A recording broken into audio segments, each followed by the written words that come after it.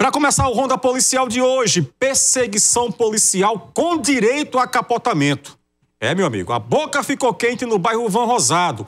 Uma adolescente trafegava um veículo com suspeita de roubo. A polícia militar ficou sabendo de toda a munganga, foi atrás, teve perseguição e foi cena de novela, viu? Acompanha aí.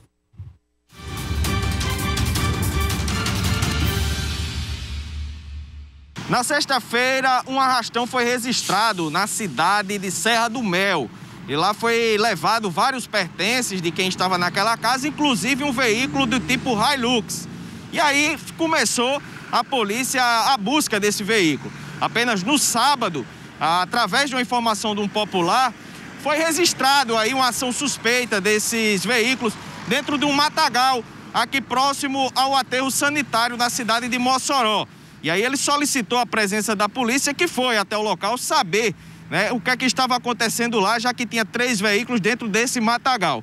Quando a polícia militar chegou no local, dois veículos saíram aí atitude suspeita em fuga e a polícia atrás. Entraram na BR 110 e sentido Areia Branca, Mossoró, começou aí essa perseguição. A polícia militar atrás desse veículo tipo Gol e a Hilux. Chegando aqui no semáforo do bairro Van Rosado, que dá entrada ao bairro Van Rosado, a Hilux perdeu o controle, né? Acabou acertando aí, colidindo esse radar que está totalmente destruído e saiu capotando. Antes de passar para o outro lado, encontrou um veículo Onix que nada tinha a ver com a ação. Estava estacionado, esperando o semáforo abrir e foi atingido pela Hilux que já vinha aí sem controle.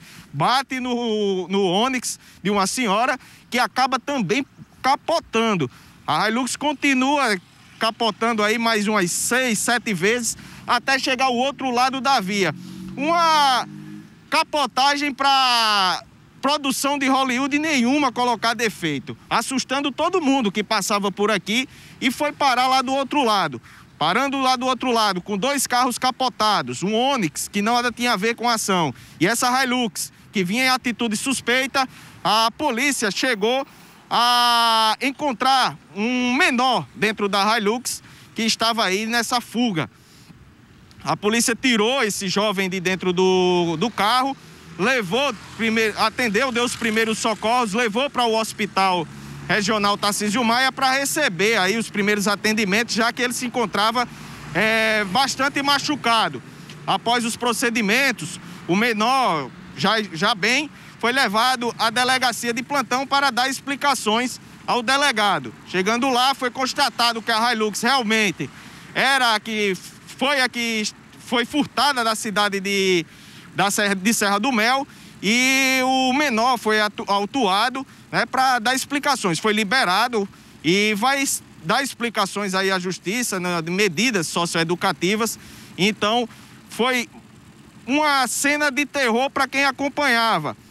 Aqui a polícia, inclusive, ficou bastante assustada. Nunca tinha presenciado um fato como esse. Um veículo que saiu aí desgovernado, atingiu uma senhora que estava apenas no semáforo e acabou aí capotando por diversas vezes aqui na entrada do bairro Van Rosado. É mais uma ocorrência registrada aqui na cidade de Mossoró. Pedro Ítalo para o Ronda Policial. Foi justamente na área ali do Van Rosado onde os indivíduos eles roubaram esse veículo, tentaram se evadir nesse veículo e, foi, e foram é, tateados, né? Foram localizados pelas nossas guarnições eu acredito que pelo tamanho do veículo e pela tecnologia que o veículo tem, esses indivíduos não sabiam conduzir esse veículo de forma correta. É tanto que eles chegaram a capotar o veículo, né? E nós conseguimos lograr êxito recuperando veículos, objetos e os bens das pessoas que foram roubadas.